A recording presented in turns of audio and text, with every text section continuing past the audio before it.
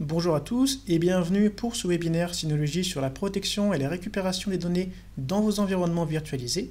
Je suis Ivan Leboski, chef de produit France chez Synology et c'est moi qui vais aujourd'hui vous expliquer comment facilement protéger vos assets virtuels et en même temps réduire les délais de récupération en cas de sinistre. Alors j'imagine que vous le savez déjà, la virtualisation est aujourd'hui un objectif clé dans l'environnement informatique des entreprises. Pourquoi Pour trois raisons très simples. Ça permet dans un premier temps de réduire les coûts, puisque forcément lorsque vous allez consolider plusieurs serveurs physiques via des machines virtuelles sur un seul hyperviseur, vous allez pouvoir avoir tout simplement moins d'appareils et baisser vos coûts de fonctionnement. C'est également plus facile à gérer puisque vous allez consolider encore une fois l'ensemble de vos serveurs dans un seul serveur qui sera votre hyperviseur et ça vous permettra d'accélérer vos tâches de management jusqu'à 90% et c'est également économe en espace dans votre salle de serveur ou si jamais vous louez un espace dans un data center, puisque vous allez pouvoir consolider vos serveurs pour un ratio qui va quelquefois jusqu'à 30 par 1, donc 30 serveurs physiques pour un seul hyperviseur virtuel. Alors bien sûr, une fois que vous allez consolider l'ensemble de vos données sur un hyperviseur, il va falloir protéger toutes ces données. Pourquoi? Parce que, encore une fois, vous le savez déjà, la protection des données est aujourd'hui un enjeu crucial. 70%, 60% pardon, des entreprises qui subissent une perte de données majeure vont fermer au bout de 6 mois. Et malgré ce risque, aujourd'hui, 58% des entreprises ne sont pas prêtes en cas de perte de données majeure. Et lorsqu'on parle de virtualisation, on peut aller rechercher de la protection des données à plusieurs niveaux. Il y a trois niveaux de protection principaux qu'on peut aborder avec les produits Synology, et c'est de cela dont on va bien sûr parler aujourd'hui. Le premier niveau, c'est aller protéger vos données au niveau du data store. Donc lorsque vous utilisez un NAS en tant que SAN ISKC, on va aller protéger justement ce data store qui va fournir des données à votre hyperviseur. Le deuxième niveau, c'est au niveau directement de la machine virtuelle en elle-même, donc réaliser une sauvegarde de la machine virtuelle et de son OS. Et le troisième niveau, c'est là cette fois au niveau matériel, on va essayer de répliquer les données en haute disponibilité pour éviter d'avoir des temps d'attente en cas de sinistre. Donc ce premier niveau du data store, comme je l'ai dit, c'est lorsqu'on va utiliser un NAS en tant que SAN pour du stockage ASCII ou même NFS. Donc l'avantage, c'est qu'en utilisant cette technique, vous allez vous appuyer sur des hyperviseurs qui sont déjà présents dans votre infrastructure et vous allez pouvoir protéger les données qui sont justement des données de stockage pour vos VM et les restaurer rapidement en cas de souci. Au niveau de la machine virtuelle, l'approche est un peu différente. Au lieu de protéger les données de stockage de virtualisation, on va cette fois utiliser un NAS comme serveur de sauvegarde centrale qui va donc réaliser une sauvegarde complète de l'ensemble de vos VM, qui est une sauvegarde bare metal qui inclut donc à la fois l'OS mais également les données stockées sur la machine virtuelle. Et l'avantage étant qu'on va pouvoir restaurer complètement cette VM sur un autre hyperviseur ou sur ce même hyperviseur en cas de souci. Le troisième niveau, qui est le niveau matériel, est celui qui propose la protection la plus complète et la plus exhaustive, mais c'est également celui qui est un peu plus compliqué à mettre en place pour des raisons de budget. Pourquoi? Parce qu'ici, on va aller répliquer des données au travers d'un second contrôleur. Donc l'avantage étant qu'on atteint une protection matérielle qui est complète, donc à la fois une synchronisation des données que vous allez utiliser, mais également une redondance au niveau matériel. Donc même si vos disques durs, par exemple, tombent en panne, vous aurez un second NAS dans votre cluster qui vous permettra de prendre le relais et d'assurer la continuité de vos données. Alors on va commencer bien sûr tout de suite avec le premier niveau qui est au niveau du data store pour s'appuyer sur des hyperviseurs existants pour réduire les coûts. Alors avant de rentrer dans ce sujet, j'aimerais faire une petite clarification sur les deux types de données qu'on rencontre généralement en entreprise. Vous avez d'un côté les données chaudes et de l'autre les données froides. Et c'est important de faire une distinction entre ces deux types de données puisqu'elles vont influencer la solution qu'on va utiliser pour réaliser justement cette sauvegarde. Les données froides d'un côté sont des données auxquelles vous n'allez pas fréquemment accéder. Typiquement des données que vous allez utiliser une, deux, peut-être trois fois, et une fois qu'elles auront été utilisées, vous pouvez les ranger dans un coin et les oublier, et uniquement les utiliser si jamais vous avez besoin de retrouver quelque chose en particulier. Donc ce sont typiquement des données qu'on va archiver et où les RPO et RTO, donc RPO qui est le temps entre chaque sauvegarde et RTO qui est le temps de récupération justement pour restaurer ces données, peuvent être longs, tout du moins plus longs que sur, des, que sur des données chaudes, puisque ce sont des données qui sont moins importantes. Vous avez à l'inverse les données chaudes, qui sont elles des données qui sont fréquemment accédées. Donc ça, ce sont des fichiers sur lesquels vous allez travailler de manière régulière et qui vont être modifiés de manière très on va dire, régulière.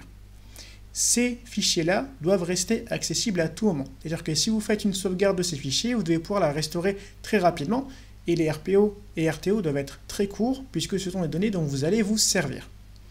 Donc, nécessairement, comme on a deux types de données, on va devoir avoir deux approches en termes de sauvegarde. Chez Synology, pour sauvegarder votre NAS, donc qui est utilisé ici en tant que SAN pour du stockage pour virtualisation, vous allez pouvoir utiliser Hyper Backup, donc qui est une solution de flexible pour l'archivage des données froides, ou Snapshot Replication, qui est cette fois un outil d'instantané, donc plutôt dédié aux données chaudes pour conserver des performances de restauration. On va commencer tout de suite avec Hyper Backup, qui est notre première solution flexible pour l'archivage des données froides. Alors comment est-ce que Hyper Backup fonctionne? Vous allez avoir vos données qui sont stockées sur votre LUN, sur votre NAS Synology. Vous allez pouvoir sauvegarder ces données sur un autre volume du NAS, sur un disque USB externe ou sur un NAS Synology distant. Alors, en général, on recommande plutôt de faire une sauvegarde sur un second NAS, tout simplement pour éviter les points d'échec au sein de votre stratégie de sauvegarde. Et Hyperbackup vous propose bien sûr des fonctionnalités avancées pour vous aider à créer une stratégie de sauvegarde qui soit efficace. Vous avez une sauvegarde qui est bien sûr incrémentielle, donc à chaque fois qu'on va avoir une nouvelle version de la sauvegarde qui est faite, ce seront uniquement les blocs qui ont été modifiés depuis la dernière sauvegarde qui vont être enregistrés. Et on a également une déduplication qui se fait au niveau du bloc pour réduire l'impact de chaque sauvegarde sur le niveau de stockage total. En termes de gestion, vous pouvez bien sûr planifier vos tâches de sauvegarde à l'avance, vous pouvez en réaliser jusqu'à une par jour, et vous allez pouvoir restaurer très facilement ces données via votre réseau ou via un disque dur USB. Donc on le voit, Hyper Backup est une solution idéale pour les données froides, qui sont donc des données à archiver, puisque vous pouvez faire une sauvegarde tous les jours, et grâce à la déduplication, l'ensemble de vos données va être dédupliqué, et ça va donc baisser la quantité de stockage dont vous allez avoir besoin pour stocker l'ensemble de ces données. Donc c'est quelque chose de très intéressant si vous avez beaucoup de données à archiver, mais que vous n'allez pas forcément avoir besoin d'accéder à ces données de manière très pressante en cas de sinistre.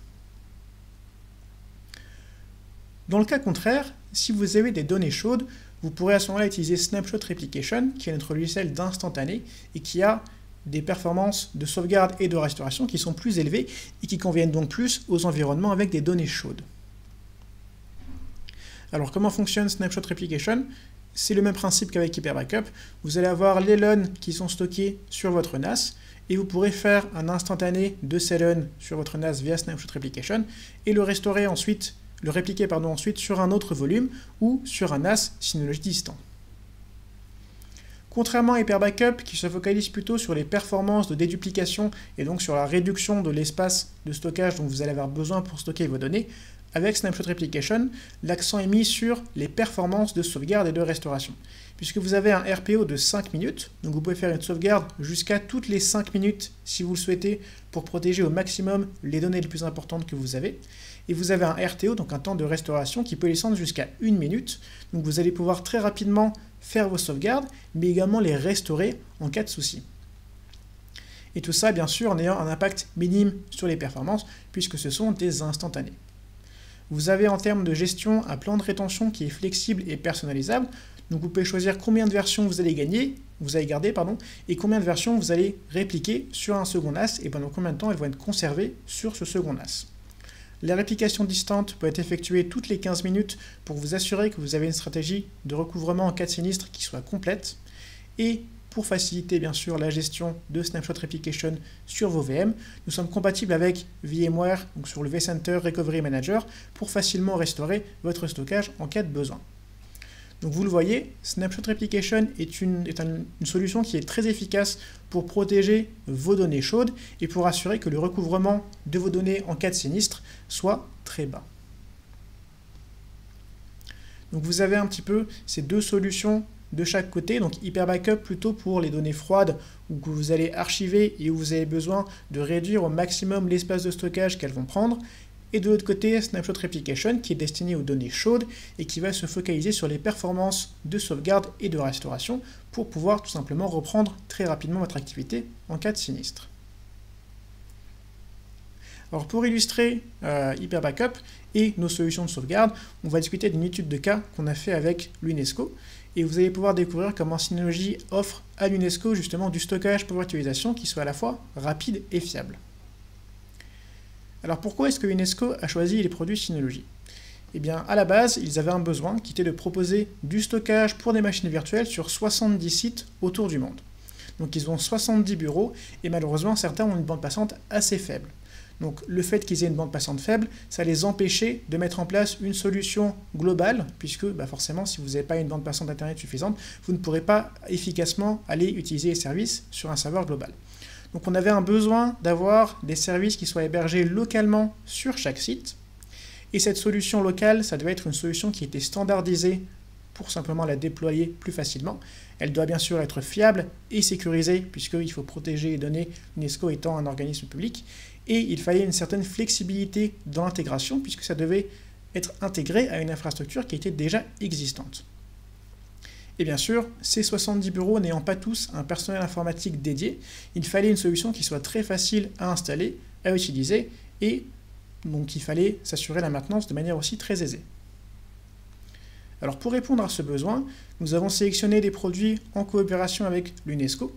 Donc leur système actuel, c'était euh, un cluster Hyper-V de virtualisation, donc ils hébergeaient eux-mêmes. Et pour ce cluster Hyper-V, on a proposé du stockage via nos produits justement, en particulier le RS3617XS+, qui fait ici du coup office de SAN via le protocole ISKC pour stocker les données de virtualisation du cluster Hyper-V et ce RS367XS est également sauvegardé de manière quotidienne sur un modèle 4B, donc qui est utilisé ici comme cible de sauvegarde via Hyper Backup. Donc en termes d'avantages, eh le RS367XS leur a offert un excellent rapport qualité-prix. Ils n'ont pas eu de soucis au niveau des performances, le produit a répondu exactement à leurs besoins. Et grâce à la sauvegarde qui est effectuée par Hyper Backup sur un second NAS A4B, ils ont pu avoir une stratégie de sauvegarde et de protection des données qui était très abordable. L'avantage étant que grâce à Hyper Backup, vu que les données sont dédupliquées, vous pouvez très facilement utiliser un modèle 4B pour faire la sauvegarde de votre hyperviseur ou de votre SAN de manière très efficace. Ils ont donc pu mettre en place une infrastructure virtuelle qui soit complète, protégée et très efficace à mettre en place pour une fraction de ce qu'on retrouve habituellement dans ce type de projet. Et bien sûr, grâce à DSM, on leur offre une fiabilité et une sécurité qui sont suffisantes et suffisamment avancées pour répondre à leurs attentes en termes justement de fiabilité et de sécurité. Et tout cela est facile à installer, facile à utiliser et facile à maintenir dans le futur. Et ils le disent même eux, grâce aux solutions fiables et puissantes de Synology, l'UNESCO bénéficie d'une infrastructure unique capable de sauvegarder toutes les machines virtuelles de 70 pays à travers le monde via Delon ISKC. Donc ils ont été très contents d'avoir travaillé avec Synology et nous sommes aussi très heureux d'avoir pu leur fournir ces solutions standardisées qu'ils ont pu déployer dans leurs 70 sites. Maintenant, si on s'intéresse au second niveau, donc effectivement, si vous souhaitez protéger vos données de virtualisation via un SAN, en sauvegardant ce SAN, c'est quelque chose qu'on couvre absolument et de manière très efficace, mais vous avez également parfois besoin de pouvoir sauvegarder et restaurer des machines virtuelles directement. Pour répondre à ce besoin, nous avons bien sûr une solution qui est Active Backup for Business. Active Backup for Business vous permet de faire la sauvegarde de vos machines virtuelles, d'éliminer les temps d'arrêt et de profiter de RTO qui sont proches de zéro. Alors comment est-ce que Active Backup for Business fonctionne? Eh bien nous avons une très large compatibilité avec beaucoup d'appareils. On est compatible avec la majorité des PC sous Windows, donc Windows 10, 8, 8.7, Windows Server de 2008 à 2019, mais ce qui nous intéresse ici surtout, c'est la compatibilité avec les hyperviseurs, puisqu'on veut sauvegarder des machines virtuelles. Nous prenons en charge VMware avec les versions de vSphere, mais également l'hyperviseur gratuit qui est ESXi, et nous sommes compatibles depuis la fin de l'année dernière avec Hyper-V en version 2016 et 2019. On est également compatible avec l'ensemble des serveurs de fichiers qui tournent sous SMB ou AirSync si vous avez besoin de sauvegarder des serveurs de fichiers. Donc toutes ces solutions peuvent très facilement être sauvegardées sur votre NAS Synology via Active Backup for Business. Donc vous l'aurez compris, on est sur une solution locale, mais qui est équivalente à des solutions comme Vim ou Acronis par exemple. L'avantage d'Active Backup for Business, c'est que vous avez une solution de sauvegarde qui est vraiment tout en un. On l'a vu, on prend en charge plusieurs périphériques, mais surtout qui est entièrement gratuite, puisqu'il n'y a pas de frais de licence pour utiliser Active Backup for Business et il n'y a pas de limite sur le logiciel. Vous pouvez protéger tous vos appareils Windows et Windows Server. Vous pouvez protéger l'ensemble de vos VM sur VMware et Hyper-V avec une sauvegarde qui se fait sans agent directement avec une connexion à l'hyperviseur. Vous avez des performances de sauvegarde avancées avec euh, chiffrement du transfert et compression du transfert.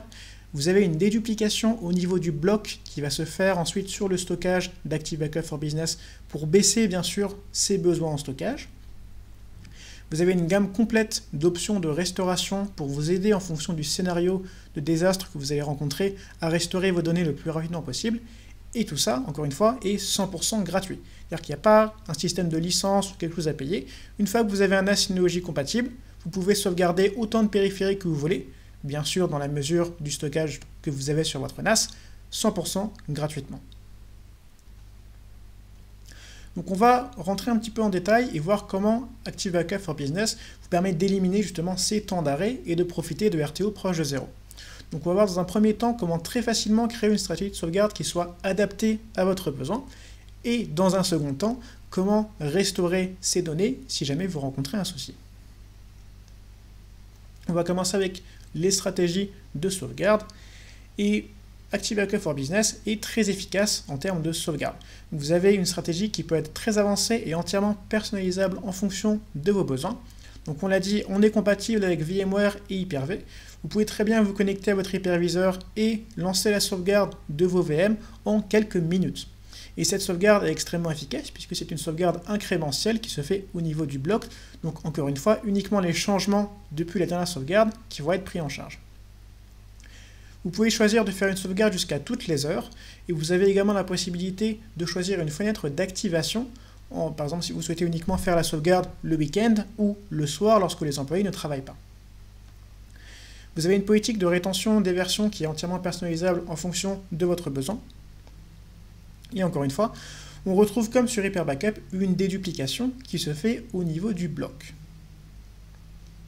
Alors cette déduplication au niveau du bloc, ce qui est très intéressant, c'est que comparé à certains de nos concurrents qui proposent des licences payantes, c'est encore une fois toujours 100% gratuit, et surtout on fonctionne aussi bien cross-appareil, donc si vous avez plusieurs appareils euh, qui ont le même OS, on va faire des déduplications, mais également cross-platform. C'est-à-dire que si vous avez des PC sous Windows, des serveurs sous Windows Server et des machines virtuelles sous Windows, on va être capable, malgré le fait que ce soit sur plusieurs plateformes différentes, d'aller identifier les différents blocs qui sont similaires entre vos appareils. Et on va bien sûr sauvegarder tous ces blocs une seule fois sur votre NAS Synology. Ça veut dire que vous allez pouvoir profiter d'un taux de duplication qui est en général de 2 à 3 fois. C'est-à-dire que vous allez pouvoir diviser votre stockage total avant des duplications par un facteur de 2 ou 3. Donc c'est très efficace si vous avez besoin d'économiser en espace de stockage lorsque vous avez plusieurs appareils à sauvegarder.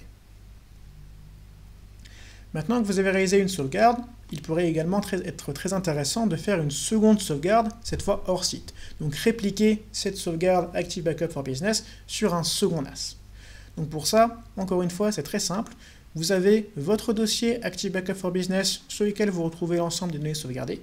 Vous pouvez très simplement faire une sauvegarde de ce dossier via Snapshot Replication ou Hyper Backup, qui sont les outils qu'on a vus précédemment, et les répliquer sur un second NAS et vous aurez donc l'ensemble de vos données de sauvegarde présents sur deux NAS, avec au besoin la possibilité de restaurer toutes vos VM sur un second NAS. On parle de restauration, on va à présent voir ce qui se passe si jamais vous rencontrez un souci sur l'une de vos machines virtuelles ou même sur votre hyperviseur de manière générale. Alors ce sont les situations auxquelles on aimerait être jamais confronté, mais malheureusement, lorsqu'on a une tragédie de sauvegarde en place, il peut arriver qu'on ait besoin de restaurer ces données sauvegardées. Pour cela, ActiveBackup for Business vous offre plusieurs approches en fonction de votre besoin. Si vous avez besoin uniquement de restaurer certains fichiers, par exemple parce que quelqu'un a effacé des fichiers sur une machine virtuelle qu'il n'aurait pas dû, nous avons un portail de restauration des fichiers disponible pour l'ensemble de vos VM. Et ce qui est intéressant, c'est que tous les utilisateurs qui ont autorisation peuvent aller restaurer les fichiers eux-mêmes. Donc l'avantage, c'est que si vous avez un utilisateur qui a tendance parfois à effacer des fichiers, vous pouvez très bien lui donner la permission d'accéder à la machine virtuelle, à cette sauvegarde, et à aller restaurer lui-même des fichiers sur une machine virtuelle. Donc ça vous permet de réduire les charges de travail des membres de votre infrastructure informatique, puisque les personnes pourront aller elles-mêmes restaurer des fichiers en cas de souci. Maintenant, bien sûr, le cas qu'on rencontre plus généralement, c'est le besoin de restaurer complètement une VM, donc de manière entière. On va prendre un cas ici. Imaginons que vous ayez un site de production sous VMware et que vous avez un serveur de sauvegarde Synology et sur lequel vous utilisez Active Backup for Business pour faire la sauvegarde de vos VM.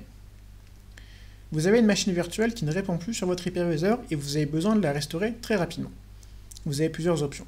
La première, c'est de faire une restauration complète. Donc pour ça, c'est très simple. On va tout simplement aller récupérer l'image de la VM, on va la transférer sur l'hyperviseur, on va récupérer cette image sur l'hyperviseur et on va ensuite redémarrer la machine virtuelle à partir de cette image. Donc le temps de récupération, ça va dépendre de la taille de la VM, puisqu'il faut transférer l'image dans votre réseau depuis le serveur de sauvegarde jusqu'à votre hyperviseur. C'est la solution généralement idéale, puisque vous allez pouvoir remettre en fait l'image entière complète de la VM sur votre hyperviseur et la faire redémarrer. Malheureusement, si jamais c'est une VM qui fait plusieurs gigas, voire plusieurs terras de, taille, vous allez devoir transférer tout ce volume de données au travers de votre réseau, ce qui peut parfois prendre du temps et surtout ce qui peut impacter les qualités du réseau pour vos employés si jamais c'est pendant une heure d'activité. Pour vous aider à restaurer très facilement une VM de manière instantanée, nous avons développé une autre solution qui est cette fois la restauration instantanée. Et vous allez voir, on s'appuie sur un principe qui est très intéressant. Si on reprend exactement la même situation, vous avez une machine virtuelle qui est tombée en panne sur votre hyperviseur. Vous avez besoin de la restaurer très rapidement parce que c'est une machine virtuelle qui est cruciale.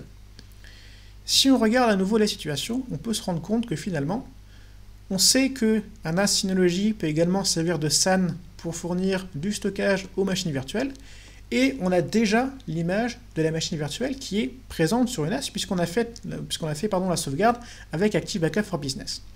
Donc est-ce que finalement le meilleur moyen de restaurer cette image rapidement, ce ne serait pas tout simplement de mélanger ces deux solutions et de tout simplement monter l'image via NFS sur votre hyperviseur? Et là, vous le voyez immédiatement, on n'a pas besoin de transférer l'image au travers du réseau. Et vous allez en fait utiliser votre NAS en tant que SAN IP pour le stockage de la VM. Et c'est votre hyperviseur qui va aller récupérer cette image via NFS et qui va assurer la partie computing de la machine virtuelle pendant que le stockage reste sur le NAS Synology. Alors en termes de performance, il y aura peut-être des petites baisses par rapport à ce qu'on avait précédemment, donc où la machine virtuelle était entièrement hébergée sur l'hyperviseur, mais L'avantage étant que vous pouvez restaurer une machine virtuelle en quelques secondes ou quelques minutes, puisque la seule chose que vous avez besoin de faire, en fait, c'est la redémarrer après avoir indiqué à l'hyperviseur que votre NAS est à présent un data store. Donc vous pouvez très très facilement restaurer une machine virtuelle en quelques minutes si jamais vous avez besoin de la récupérer très rapidement. Maintenant, on va prendre un troisième cas, qui est un cas un peu plus grave. Vous avez encore une fois votre site de production sous VMware et votre serveur de sauvegarde Synology. Le problème, c'est que cette fois, le souci ne se déclare pas au niveau de la VM, mais au niveau de votre hyperviseur complet.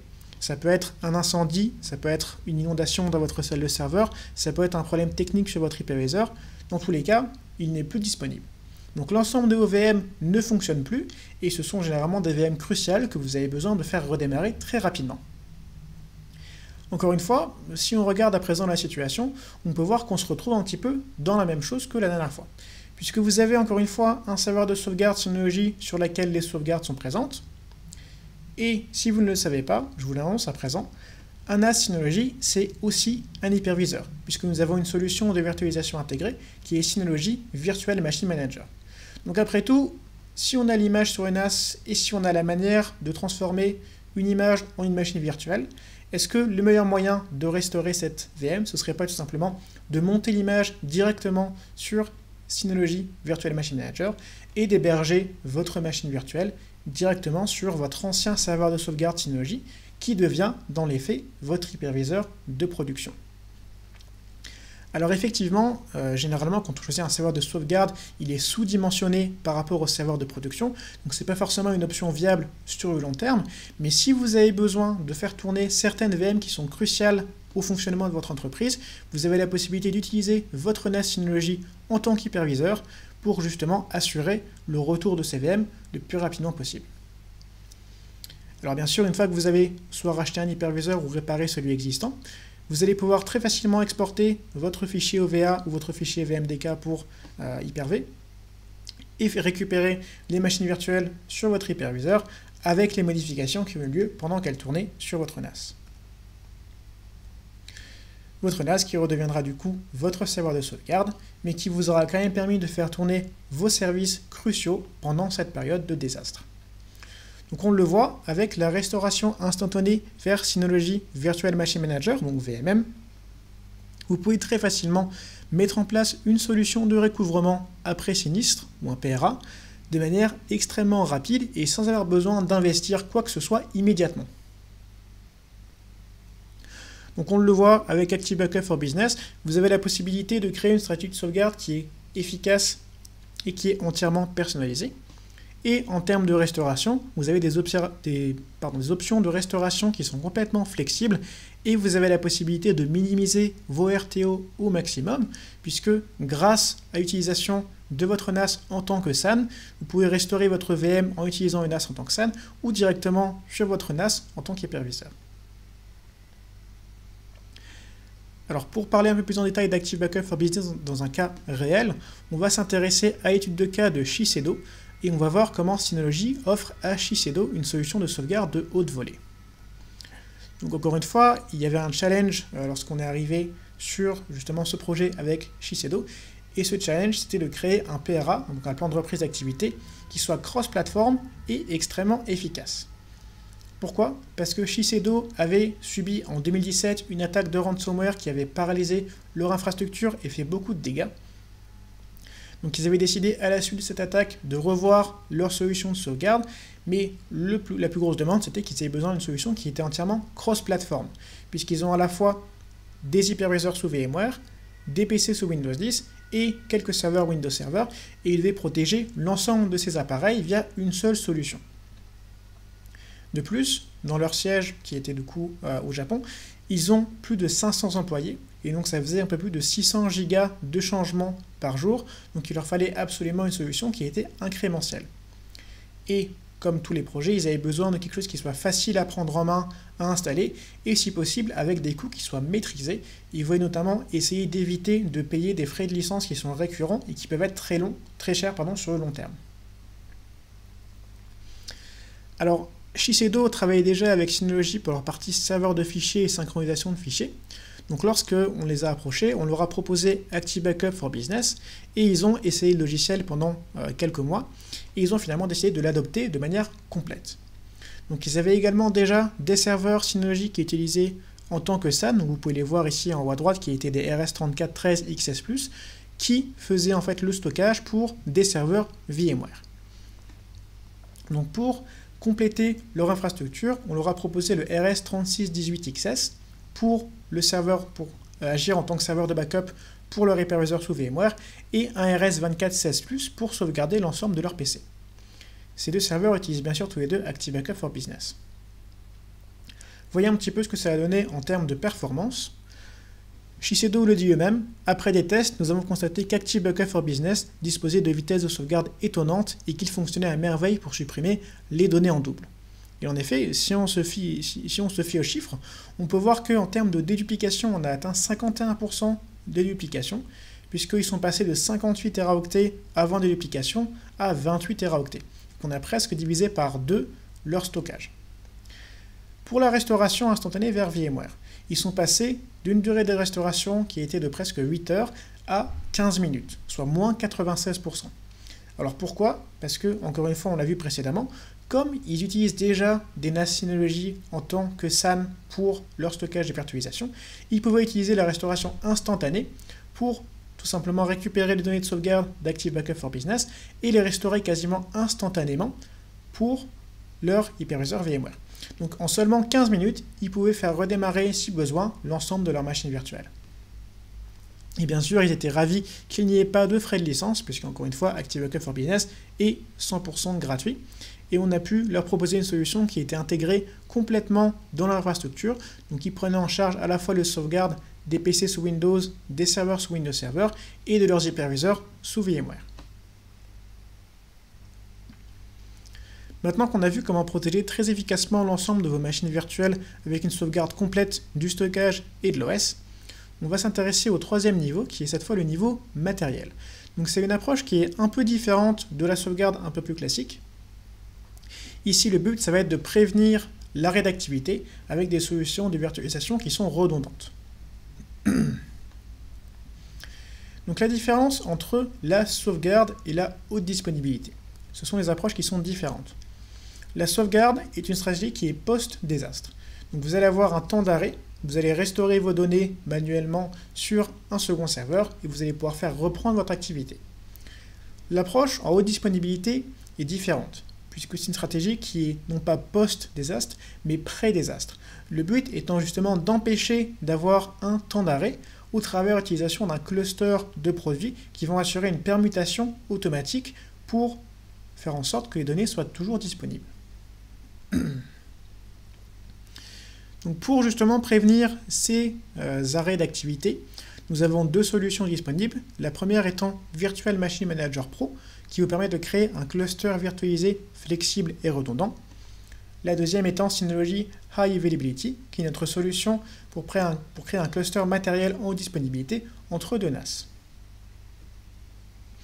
Donc on va commencer avec Virtual Machine Manager Pro, ou VMM Pro, qui est notre solution de virtualisation. Donc on en a parlé précédemment, vous avez Virtual Machine Manager qui est notre hyperviseur qui est disponible gratuitement sur l'ensemble des NAS compatibles, donc ce sont les modèles de la gamme Plus et au-delà. On est compatible avec l'ensemble des OS de virtualisation habituels, et ce qui est intéressant, c'est qu'en plus de ces OS, on prend en charge la création de DSM virtuels. vous avez la possibilité de créer des NAS virtuels en utilisant Virtual Machine Manager. On prend bien sûr en charge les VLAN et nous avons un outil de snapshot local qui est intégré. Toutes ces fonctionnalités sont 100% gratuites et disponibles sur n'importe quel NAS compatible.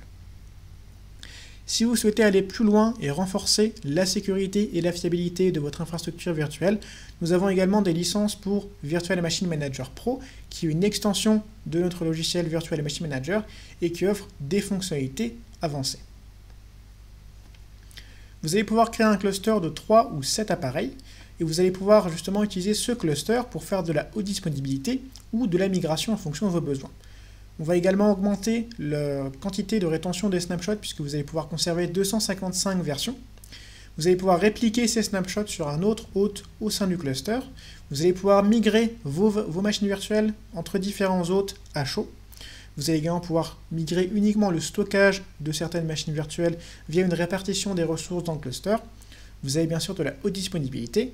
Et si jamais vous êtes intéressé, ce sont des licences qui sont payantes, qui sont valables pour un an ou trois ans, et qui sont disponibles chez vos revendeurs habituels.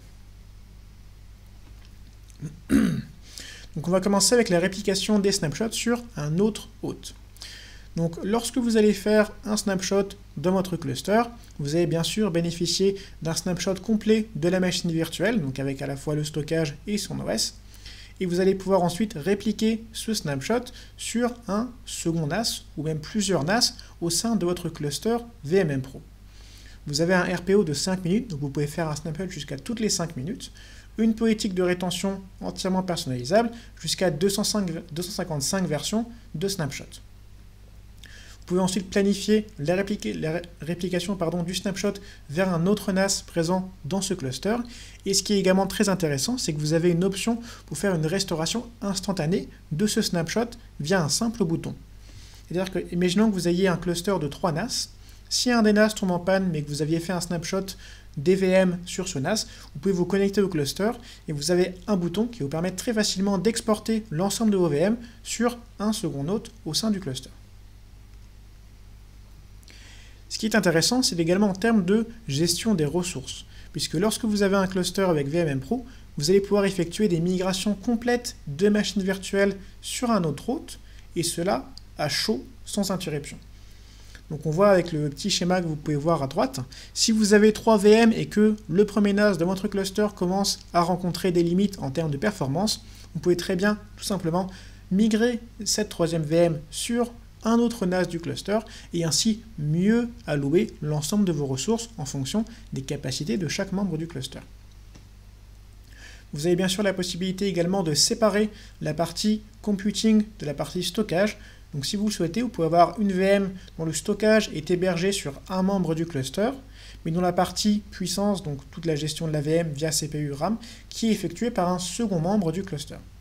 Donc ça vous permet très facilement de modifier et d'allouer les différentes ressources de votre cluster de manière plus efficace pour améliorer la gestion de l'ensemble de vos VM sur votre cluster VMM Pro. Et bien sûr, on l'a mentionné, vous avez également la possibilité d'activer la haute disponibilité pour vos machines virtuelles dans un cluster VMM Pro. Donc le prérequis, c'est qu'il faut 3 hôtes ou plus dans votre cluster. Donc vous, pouvez avoir 3 hôtes, 4, 5, 6 et jusqu'à 7. Et à partir de 3, vous avez la possibilité de créer justement un cluster en haute disponibilité. Donc comment ça fonctionne? C'est très simple. Vous allez choisir un NAS qui fera office de NAS passif et vous aurez une permutation automatique sur l'hôte actif vers le NAS passif en cas de panne. Donc c'est cet hôte qui va assurer la disponibilité, la disponibilité de la VM et qui va assurer que vos services seront toujours actifs et protégés. Maintenant, vous peut-être vous dire, avec un cluster en haute disponibilité, j'ai besoin de 3 NAS, créer un cluster avec VMM Pro et ensuite faire de la haute disponibilité. Ce sont les solutions qui sont très efficaces pour une entreprise qui a un budget qui lui permet d'acheter 3 NAS, mais malheureusement ce n'est pas toujours le cas. Vous êtes parfois à la recherche d'une solution de haute disponibilité avec un budget peut-être un peu moindre pour répondre à un besoin pour peut-être une entreprise de taille moyenne. À ce moment-là, nous avons également une autre solution disponible qui est cette fois la création de clusters en haute disponibilité via Synology High Availability. Donc quel est le principe? Il est différent de VMM Pro. Sur VMM Pro, on l'a vu, vous avez un cluster de virtualisation. Donc c'est uniquement au niveau de la virtualisation que vous allez avoir ces hautes disponibilités. Avec Synology High Availability, vous avez un cluster actif-passif entre deux NAS et ce cluster se fait de manière globale sur l'ensemble du NAS. vous allez avoir un NAS actif qui gère les données et les tâches et un mécanisme de copie instantanée qui va changer automatiquement les données sur le second NAS en fonction du premier NAS. Donc vous avez un serveur actif, un serveur passif. Si jamais il y a un souci sur le serveur actif, le serveur passif va automatiquement prendre le relais pour assurer la continuité des données. Et contrairement à VMM Pro, ici c'est un cluster uniquement de deux produits et surtout vous avez tout simplement une compatibilité avec l'ensemble des solutions Synology. Puisque sur VMM Pro, on parle uniquement de solutions de virtualisation, sur Synology High Availability, ou SHA, on a une redondance complète matérielle de l'ensemble du NAS. Donc ça inclut également tous les protocoles de fichiers, mais tous les paquets Synology également. Donc comment est-ce que ça fonctionne en termes d'installation? C'est vraiment intuitif et très facile à mettre en place, et vous pouvez paramétrer un cluster aux disponibilités pour une protection complète en quelques minutes. Donc le prérequis, c'est d'avoir deux fois le même modèle de NAS Synology, donc il faut que ce soit exactement le même modèle, et il faut une connexion directe via un câble Heartbeat. Ce câble peut être un RG45 ou un CFP+, en fonction de vos préférences, et une fois que vous avez cette connexion qui est établie entre les deux NAS, vous pouvez très facilement, via notre manager de disponibilité, faire une configuration logicielle qui est simple et intuitive, donc on va vous guider au fur et à mesure de la création de votre cluster pour vous assurer que tout fonctionne sans aucun souci. Une fois que vous aurez complété votre cluster, vous avez des outils de test qui vous permettent de tester leur viabilité. Vous avez notamment la possibilité de tester la permutation ou faire en sorte que le NAS actif rencontre un problème, bien sûr de manière virtuelle, pour que le NAS actif prenne la relève.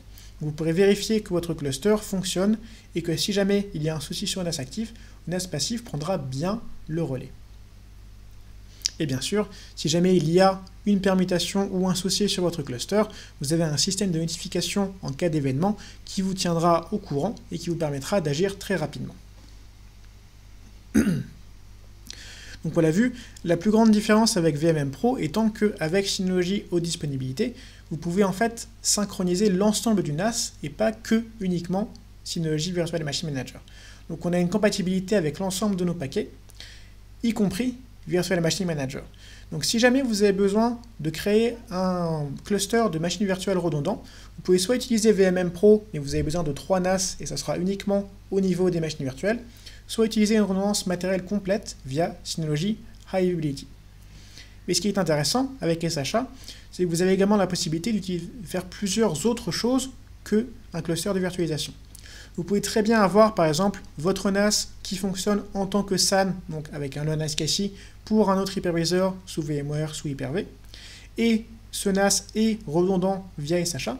Et grâce justement à ce cluster, si jamais votre NAS actif tombe en panne, le second NAS passif va continuer à fournir les données à votre hyperviseur VMware. Donc cette réplication instantanée elle permet d'assurer que peu importe votre environnement, qu'il soit dédié aux machines virtuelles, qu'il soit dédié au stockage pour virtualisation ou même à d'autres usages, il soit toujours entièrement répliqué. Et ce qui est intéressant, c'est que c'est compatible avec l'ensemble des solutions et que vous pouvez faire plusieurs choses en même temps. Donc si vous le souhaitez, vous pouvez très bien avoir plusieurs machines virtuelles qui tournent sur votre NAS, qui sont répliquées sur le second NAS au sein du cluster, et avoir également du stockage pour virtualisation pour un autre hyperviseur, en même temps répliqué sur un second NAS. Donc c'est un usage qui est plus mixte, qui est plus complet et qui vous permet, en fonction de vos besoins, d'avoir une infrastructure entièrement redondante à moindre coût. Alors pour vous montrer un petit peu comment ça peut fonctionner dans les faits avec une vraie étude de cas, on va s'intéresser au cas de VDS IT, donc qui est euh, un fournisseur de services d'hébergement et qui euh, a choisi Synology pour justement avoir son infrastructure de virtualisation qui soit entièrement redondante. Alors le challenge, le défi, c'était que VDS IT avait besoin de performance, puisqu'ils offrent des services d'hébergement, notamment du mail, Citrix, ERP, et ils offrent ça à leurs clients. Donc ils avaient besoin d'avoir derrière une infrastructure qui puisse soutenir leur croissance dans le futur. Donc au début, ils s'étaient tournés vers une location en data center, mais malheureusement c'était très cher, donc ils ont décidé finalement, pour des raisons de coût, de s'orienter vers une solution qui soit hébergée localement. Alors bien sûr, on est sur l'hébergement, donc il y a des problématiques de latence et de redondance matérielle qui doivent être bien sûr satisfaites par l'architecture qui est choisie. Il fallait également que ce soit facile à utiliser pour réduire au maximum les temps de maintenance, et facilement extensible puisque VDS IT rencontrait une croissance qui était très importante à ce moment-là. En termes de solutions, ils nous ont contactés et on a pu leur fournir une solution entièrement redondée qui a répondu à leurs besoins. Donc on a sélectionné le FS 2017 qui est un modèle full flash en SHA, donc avec un cluster redondant, pour répondre au stockage de 120 euh, bureaux virtuels Citrix et ils avaient également à côté des RS197XS+, encore une fois toujours en cluster SHA, donc Synology High Availability, pour servir de stockage pour virtualisation à 90 machines virtuelles pour des serveurs VMware. Donc avec uniquement 4 produits, ils avaient leur infrastructure redondée qui répondait à leurs besoins. En plus de ça, ils font une sauvegarde de leur serveur VMware via Active Backup for Business, puisque si vous vous souvenez, vous pouvez très bien sauvegarder votre hyperviseur avec Active Backup for Business sur un NAS. Donc ils utilisent Active Backup for Business pour avoir une, autre sauvegarde justement de ces serveurs VMware sur un autre appareil, donc ce RS 818+, et ensuite ils font une réplication de la sauvegarde Active Backup for Business sur encore un second NAS, qui est cette fois euh, hors site, qui leur permet d'assurer que même si jamais ils ont un souci sur leur hyperviseur, sur le stockage en disponibilité, ils auront toujours les données protégées disponibles quelque part. Donc avec uniquement 6 produits et un budget qui est très bas, ils ont pu répondre entièrement à leurs besoins. En termes de performance, ils n'ont pas encore rencontré de bottleneck, donc de goulot d'étranglement sur leur service, donc ils étaient extrêmement heureux d'avoir pu mettre en place cette solution qui répond à leurs besoins. Ils ont des RPO et des RTO qui sont proches de zéro, puisque grâce à SHA, en moins d'une minute, le NAS passif va prendre la relève du NAS actif en cas de souci. Ils avaient un stockage qui, est extensible, puisque avec le RS 197XS+, il peut avoir jusqu'à 180 B de stockage, et cet investissement était très rentable, notamment comparé à une location dans un data center qui peut coûter très cher sur le long terme. Grâce à Active for Business, ils ont mis en place un système de sauvegarde secondaire sans aucun frais de licence, et le tout extrêmement facile à déployer, maintenir et étendre dans le futur grâce à Synology DSM qui est très facile à prendre en main. Et ils le disent eux-mêmes, grâce à la facilité d'utilisation des produits Synology et High Availability, nous disposons désormais d'une solution de stockage sur laquelle nous pouvons compter pour offrir une vitesse et une disponibilité optimale à nos clients. grâce au produit Synology, ils ont pu à moindre coût renouveler leur infrastructure et assurer l'ensemble de leurs services pour continuer justement leur croissance.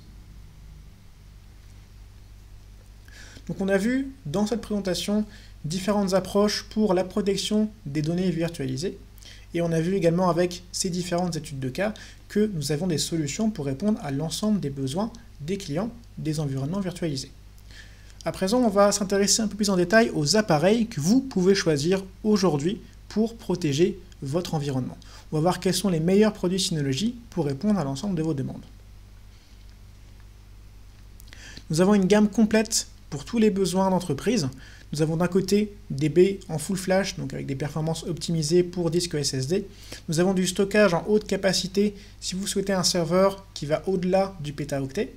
Et nous avons également des solutions redondantes matérielles qui assurent la haute disponibilité de vos données.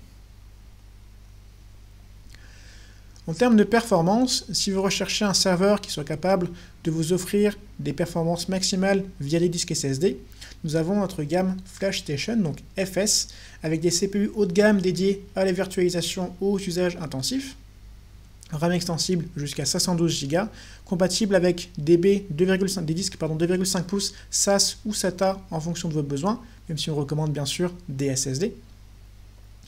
Ce sont des produits qui sont parfaits pour des bases de données à faible latence par exemple, pour utiliser en tant que data store mais sans compromis sur les performances d'accès en lecture et écriture régulatoire.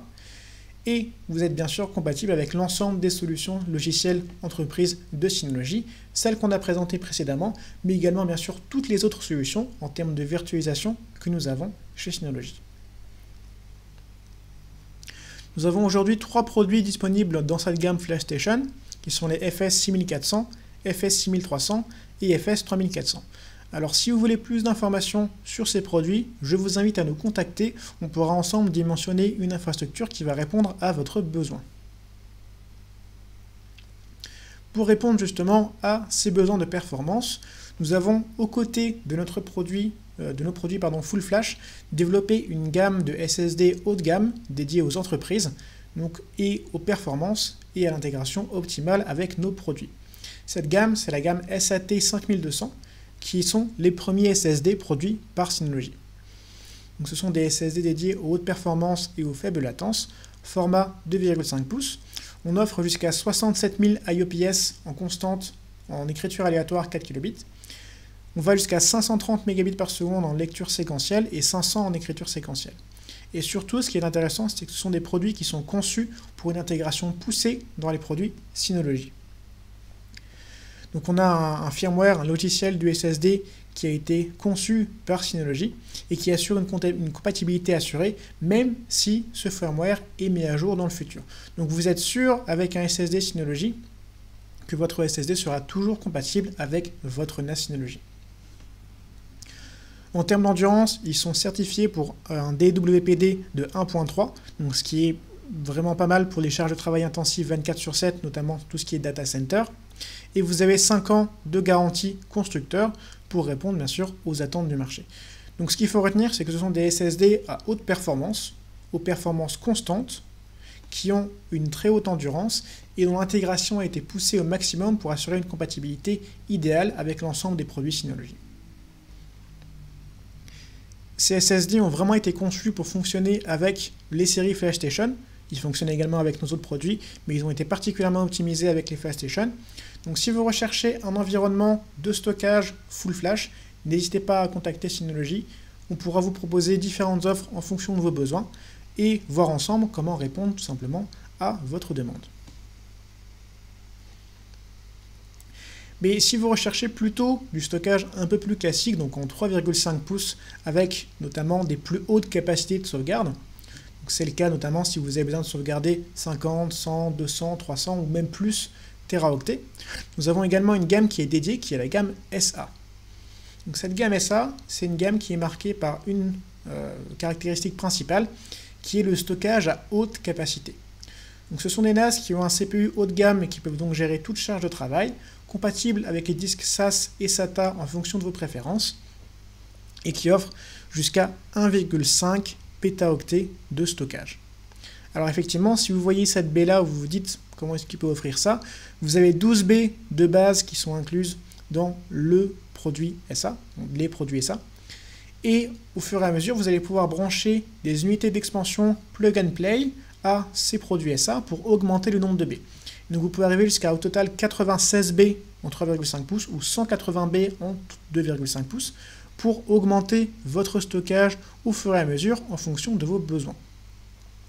Donc ce sont vraiment des serveurs qui sont idéaux pour tout ce qui est sauvegarde, puisque vous allez pouvoir tout simplement étendre votre capacité de sauvegarde au fil du temps, au fur et à mesure que vos données vont croître. Nous avons deux produits disponibles aujourd'hui dans la gamme SA. Ils sont les SA 3600 et SA 3400. La différence étant principalement en termes de performance, puisqu'on retrouve un Intel Xeon à 12 cœurs sur le 3600, alors qu'on a un 8 cœurs sur le 3400. Donc si vous avez encore une fois des questions sur ces produits ou si vous vous demandez si ça peut correspondre à votre besoin, n'hésitez pas à contacter les équipes de Synology et on pourra vous guider. Enfin, troisième gamme qui est cette fois dédiée à la haute disponibilité. On l'a vu dans ce webinaire, vous avez plusieurs solutions logicielles pour mettre en place la haute disponibilité chez Synology. Parfois, certaines personnes préfèrent également avoir une disponibilité qui soit cette fois au niveau matériel, donc cette fois directement intégrée au produit. C'est pour cela que nous avons sorti deux produits qui sont dédiés justement à ces usages au cours de cette année et de l'année dernière, les produits de notre gamme haute disponibilité. Donc ce sont des produits avec redondance intégrée directement dans le NAS.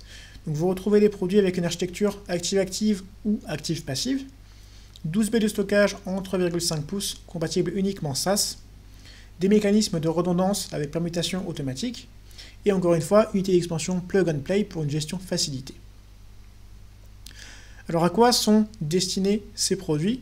Généralement, ils sont plutôt destinés à tout ce qui est stockage pour virtualisation de manière redondante, mais il y a plusieurs usages qui sont également possibles. vous avez deux produits disponibles dans cette gamme. D'un côté, l'UC3200. Donc je tiens à le préciser, ce n'est pas un produit qui est habituel pour nous, puisque c'est un produit un peu à part ce n'est pas un NAS, c'est un SAN. Donc c'est uniquement un SAN IP qui fonctionne uniquement avec les services iSCSI. Donc il est uniquement disponible pour faire du stockage pour virtualisation. Sur l'UC3200, on retrouve une architecture active-active qui va assurer du coup plus de performance et de fiabilité.